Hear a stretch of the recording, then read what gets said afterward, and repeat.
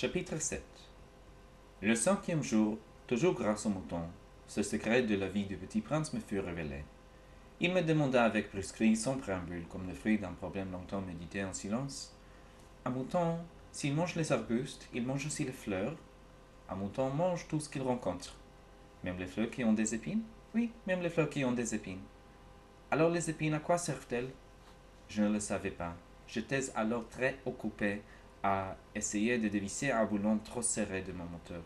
J'étais très soucieux, car ma panne commençait de m'apparaître comme très grave, et l'eau à boire qu'ils épuisaient me faisait craindre le pire. Les épines, à quoi servent-elles Le petit prince ne renonçait jamais une question, une fois qu'il l'avait posée. J'étais irrité par mon boulon j'ai répondu n'importe quoi.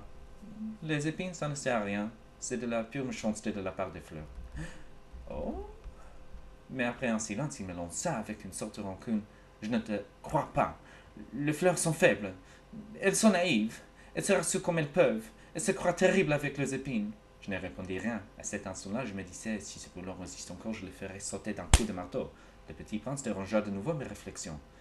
Et tu crois, toi, que les fleurs... Mais non Mais non Je ne crois rien. J'ai répondu n'importe quoi. Je me coupe, moi, de choses sérieuses. Il me regarda stupéfait.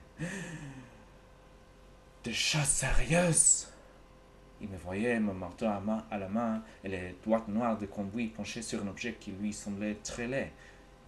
Tu parles comme de grande personne. Ça me fit un peu honte.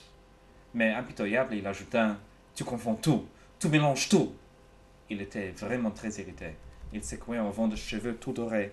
Je connais une planète où il y a Monsieur Chromasie. Il n'a jamais respiré une fleur, il n'a jamais regardé une étoile, il n'a jamais aimé personne, il n'a jamais rien fait d'autre que des additions, et toute la journée il répète comme toi, je suis un homme sérieux, je suis un homme sérieux, et ça le fait gonfler d'orgueil. Mais ce n'est pas un homme, c'est un champignon. À quoi? Un champignon Le petit prince était maintenant tout pâle de colère.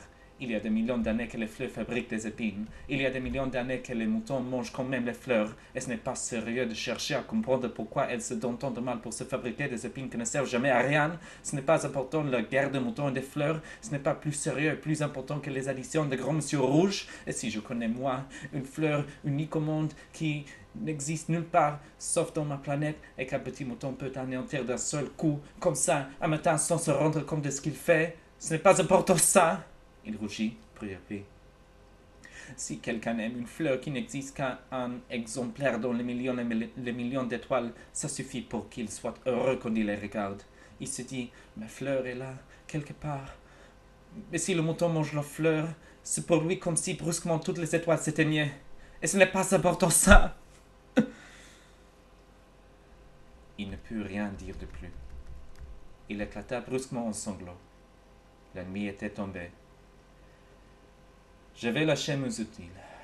Je me moquais bien de mon marteau, de mon boulon, de la soif et de la mort. Il y avait sur une étoile une planète, la mienne, la terre, un petit prince à consoler.